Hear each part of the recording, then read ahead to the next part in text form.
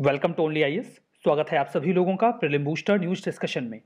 आज है एक फरवरी 2021 तो आइए देख लेते हैं ऐसे कौन से इंपॉर्टेंट आर्टिकल्स हैं जो आज हम कवर करने वाले हैं। हमारा पहला आर्टिकल बेयर नेसेसिटीज इंडेक्स के बारे में है। इकोनॉमिक सर्वे 2021 में इस इंडेक्स की बात की गई, जहाँ पर रूरल अर्बन और ऑल इंडिया लेवल पर इवेल्युएशन किया जाएगा कि लोगों की आधारभूत आवश्यकताएँ बेसिक नीड्स पूरी हो पा रही हैं अथवा नहीं। इस इंडेक्स का मतलब ये होगा कि हम ये देख सकें कि जो इकोनॉमिक डेवलपमेंट है, उसमें इक्विटी है कि नहीं है। देखिए इक्विटी और इक्वलिटी में अंतर होता है। इक्वलिटी का मतलब होता है समानता। सभी लोगों को एक समान बना देना। लेकिन कई बार इस प्रकार की इक्वलिटी की वजह से भी इनइक्वलिटी हो जाती है। यहाँ आप इमेज में देख सकते हैं, तीन अलग अलग हाइट के लोगों को सेम साइज़ के बॉक्सेस दे दिए गए हैं। तो ये अपने आप में इनइक्वलिटी कॉज कर रहा है, जबकि यहाँ पर इक्वलिटी को इंश्योर किया गया है। इक्विटी का मतलब होता है समता। यहाँ पर सभी लोगों को समान अवसर दिए जाते हैं। तो इक्वलिटी का मतलब सेमनेस होता है तो इक्विटी का मतलब फेयरनेस होता है। आप इक्विटी और इक्वलिटी के बीच का अंतर समझ चुके हैं। अब हम देखेंगे कि इस इंडेक्स के माध्यम से अलग अलग लोकेशन जो इंडिया की हैं, वहाँ पर लोगों की बेसिक नीड्स कैसे पूरी हो पा रही हैं, नहीं हो पा रही हैं। यहाँ पर 26 इंडिकेटर्स का इस्तेमाल किया जाएगा, जो पाँच डायमेंशन में होंगे। पाँच डायमेंशन कौन से हैं? Water sanitation housing micro environment और अदर फैसिलिटीज़ इनको याद रखिएगा। क्वेश्चन पूछा जा सकता है। I repeat for you water sanitation housing micro environment और अदर फैसिलिटीज़ डाटा कैसे कलेक्ट करेंगे? नेशनल स्टैटिस्टिकल ऑफ़िस ने 2012 और 2018 में जो भी डेटा इस दौरान कलेक्ट किया है, उसका इस्तेमाल किया जाएगा यहाँ पर इवेल्युएशन करने के लिए। इंडेक्स में जो भी रीजन्स हैं, उन्हें तीन लेवल पर क्लासीफाई किया जाएगा। हाई, मीडियम और लो, कि वहाँ पर नेसेसिटीज कैसे पूरी हो पा रही हैं। जो इंडेक्स है, इसमें ज़ीरो से लेकर एक के बीच में रैंकिंग दी जाएगी। एक का मतलब है कि बेस्ट एक्सेस है, और ज़ीरो का मतलब है कि बिल्कुल एक्सेस नहीं है। तो ये इंडेक्स है। यहाँ पर देखते हैं क्या निकल कर आया है बेयर नेसेसिटीज इंडेक्स में। कुछ स्टेट्स ने बहुत अच्छा परफॉर्म किया है। केरला, पंजाब, हरियाणा, गुजरात। इन्होंने इंडेक्स में टॉप पोजीशन ली है, जबकि ईस्टर्न इंडिया के कुछ स्टेट्स जैसे कि उड़ीसा, झारखंड, वेस्ट बंगाल, त्रिपुरा, ये लोवेस्ट पोजीशन में आए। इंटर स्टेट डिस्पैरिटी की अगर हम बात करें कि एक राज्य में अच्छी सुविधाएँ हैं, दूसरे राज्य में सुविधाएँ अच्छी नहीं है, ये डिस्पैरिटी कम हुई है। अगर आप 2012 की तुलना में 2018 में देखेंगे तो। रिच और पुअर स्टेट्स के बीच का जो गैप है, वो भी कम हुआ है। यहाँ पर जो बेसिक कम्युनिटीज हैं, वो धीमे धीमे इंप्रूव हो रही हैं। लेकिन रूरल इंडिया और अर्बन इंडिया के बीच का गैप कम नहीं हुआ है। ये गैप अभी भी बना हुआ है। वेरियस इनकम ग्रुप के लोगों के बीच में बेसिक नीड्स को लेकर जो अंतर है, वो भी बना हुआ है। तो इस पर हमें काम करना पड़ेगा। ये इंडेक्स हमें हेल्प करेगा कि हम जो भी गवर्नमेंट स्कीम्स हैं, उन्हें और इफिशियंट मैनर में उन सभी रीजन में पहुंचाएँ। तो अब देखते हैं अपना नेक्स्ट आर्टिकल जो कि स्टार्स प्रोजेक्ट के बारे में है। स्टार्स प्रोजेक्ट एजुकेशन सेक्टर से जुड़ा हुआ है। डिपार्टमेंट ऑफ़ इकोनॉमिक अफेयर्स ने अभी हाल ही में वर्ल्ड बैंक के साथ मिलकर एक एग्रीमेंट साइन किया, जिसमें वर्ल्ड बैंक ने वादा किया है कि वो हमें फाइनेंशियल सपोर्ट देंगे हमारे स्टार्स प्रोजेक्ट के लिए, जिसका फुल फॉर्म है strengthening teaching learning and results of for states तो देखिए, यहाँ पर जो स्टार्स प्रोजेक्ट है, ये एक सेंट्रली स्पॉन्सर्ड स्कीम है। मतलब कुछ शेयर सेंट्रल गवर्नमेंट पे करेगी, जो भी खर्चा आएगा और कुछ राज्यों को वहन करना होगा। Department of school education and literacy जो कि मिनिस्ट्री ऑफ़ एजुकेशन के तहत आता है, वो इस पूरी स्कीम को इंप्लीमेंट करेंगे। उद्देश्य ये रहेगा कि हम ओवरऑल मॉनिटरिंग करें इंडिया की एजुकेशन सिस्टम की। और इसके लिए कुछ सिलेक्टेड स्टेट्स में इंटरवेंशन किए जाएँगे पॉजिटिवली ताकि वहाँ पर लर्निंग आउटकम को बेहतर किया जा सके। सिलेक्टेड स्टेट्स की बात की गई है मतलब कुछ राज्यों को चुना गया होगा। बिल्कुल, सही बात है। छह राज्य चुने गए हैं। हिमाचल प्रदेश, राजस्थान, महाराष्ट्र, मध्य प्रदेश, केरला और उड़ीसा। ये कुछ और राज्यों के साथ पार्टनरशिप करेंगे अपने एक्सपीरियंसेस को शेयर करने के लिए। नेशनल लेवल पे department of school education and literacy, जो कि मिनिस्ट्री ऑफ़ एजुकेशन के तहत आती है, वो मेन इंप्लीमेंटिंग एजेंसी होगी। स्टेट लेवल पे समग्र शिक्षा एक इनिशिएटिव है सेंट्रल गवर्नमेंट का। उसे इंप्लीमेंट करने के लिए जो इंप्लीमेंटिंग एजेंसी है स्टेट इंप्लीमेंटेशन सोसाइटी वही इस स्टार्स प्रोजेक्ट को भी इंप्लीमेंट करेगी। समग्र शिक्षा इनिशिएटिव क्या है तो मैं आपको बता दूँ। 2018 के पहले तीन इनिशिएटिव थे एजुकेशन सेक्टर में।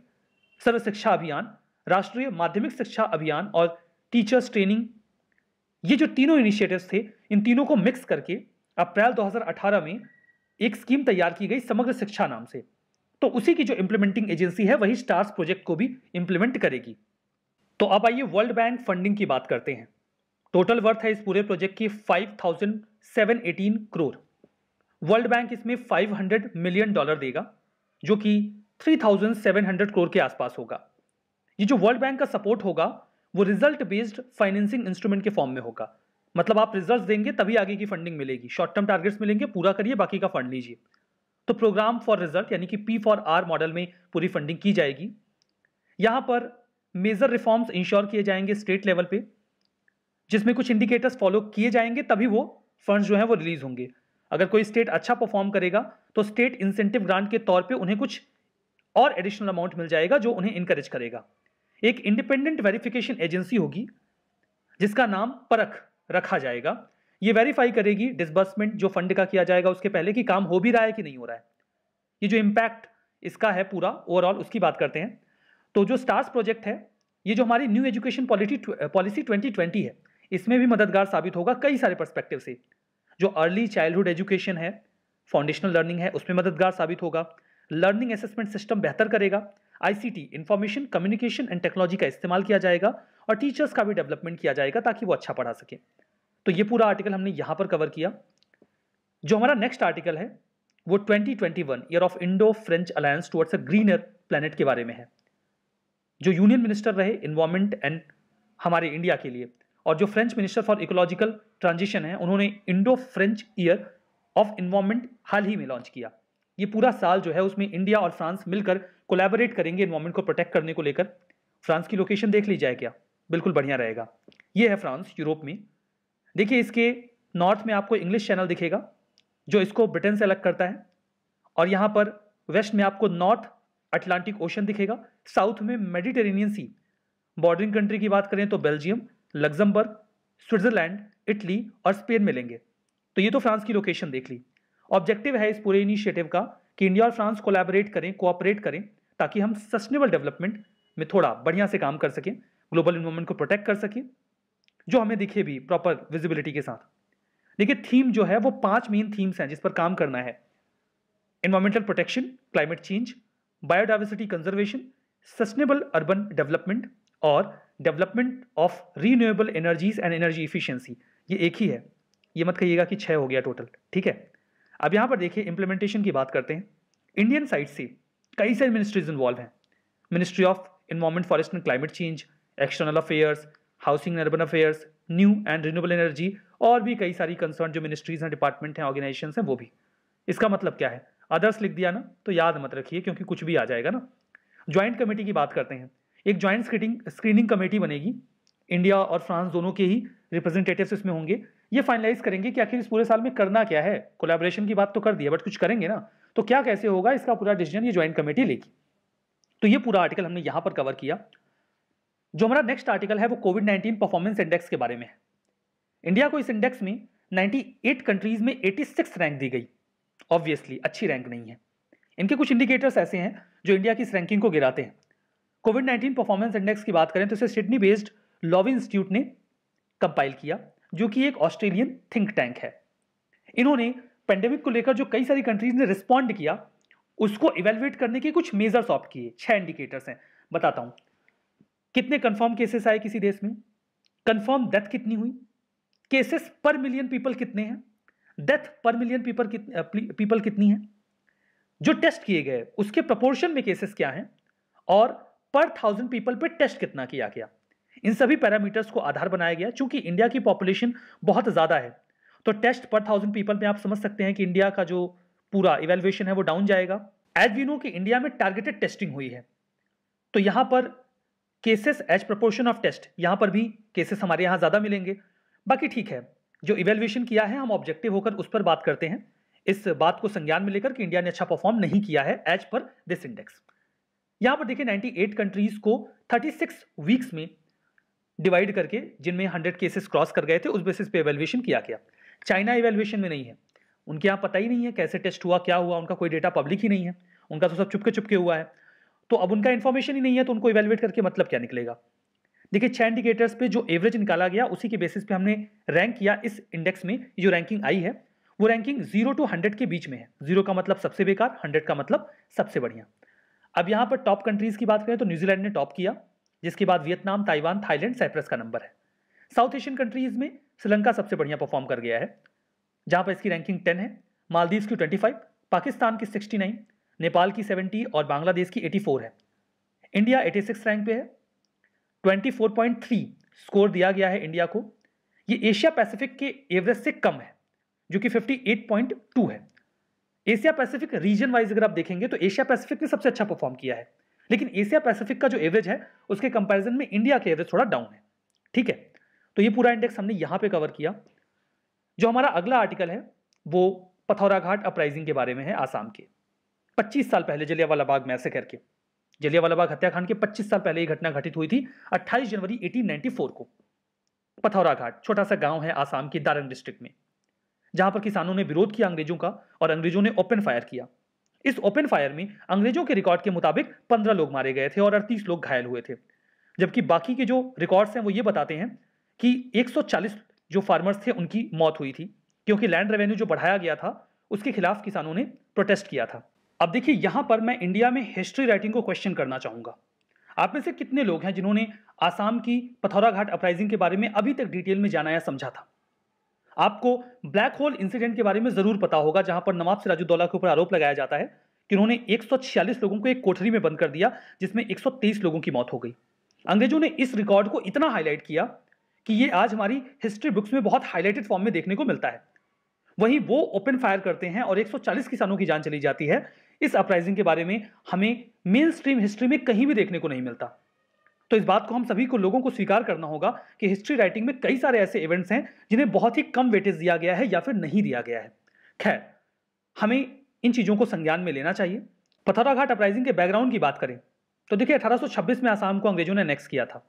उन्होंने ज़मीन का सर्वे किया और बहुत तेज़ी से वो रेवेन्यू अपना बढ़ाने के लिए टैक्सेस बढ़ाते गए। 1893 में उन्होंने लैंड टैक्स 70 से 80 परसेंट तक बढ़ा दिया। किसान नाराज़ हुए। उन्होंने इसका विरोध किया। अनूप कुमार दत्ता अपनी किताब में लिखते हैं कि जो इन्फॉर्मेशन है, उसके मुताबिक, इस अपराइजिंग में जो भी लोग इन्वॉल्व थे, अंग्रेज़ इसे सेडिशन यानी कि देशद्रोह के तौर पर देखते थे। And that was the result कि उनके ऊपर ओपन फायर किया गया। इस इवेंट के सिग्निफिकेंस की बात करें तो दत्ता की किताब में इस चीज़ के एक्सप्लेनेशन के बाद ये काफ़ी इंस्पायरिंग एपिसोड रहा इंडियन फ्रीडम मूवमेंट में। हालाँकि मेन स्ट्रीम हिस्टोरिकल डिस्कोर्स में फ्रीडम स्ट्रगल के ये हमें रेयरली देखने को मिलता है। हमारा next article Axiom mission one short में ए एक्स वन के बारे में है। तो क्या आप अंतरिक्ष में जाना चाहते हैं? आप बिल्कुल जा सकते हैं। इसके लिए बस आपको बहुत सारे पैसों की ज़रूरत पड़ेगी। अभी एक मिशन जा रहा है Axiom mission one X one जो कि 2022 के जनवरी में लॉन्च किया जाना है। इसमें तीन प्राइवेट इंडिविजुअल्स होंगे मतलब जो प्रोफेशनल एस्ट्रोनॉट नहीं है। एक इसराइली फाइटर पायलट एक अमेरिकन टेक्नोलॉजी इंटरप्रेन्योर और एक कनेडियन इन्वेस्टर ये इस क्रू का पार्ट होंगे जो अंतरिक्ष में जाएँगे। एट डे स्टे होगा इंटरनेशनल स्पेस स्टेशन में इन लोगों का। ये पूरी तरीके से प्राइवेटली ऑर्बिटल स्पेस मिशन होगा। ये आठ दिन की जो विज़िट है, इसे Houston based space flight firm Axiom ये ऑर्गेनाइज कर रहा है। ये कंपनी है प्राइवेट कंपनी है जो इसे ऑर्गेनाइज कर रही है। एक्सियम कंपनी ने इस फ़्लाइट को अरेंज करने के लिए एक कमर्शियल एग्रीमेंट भी किया है नासा के साथ। अब देखिए, ऐसा पहली बार नहीं है कि कोई सिविलियन इंटरनेशनल स्पेस स्टेशन में घूमने के लिए जा रहा है। 2001 के बाद से ही जो रशिया है, वो अपने यहाँ के या दुनिया भर के जो वेल्दी बिजनेसमैन हैं, उनको इंटरनेशनल स्पेस स्टेशन पर ले जाता रहा है।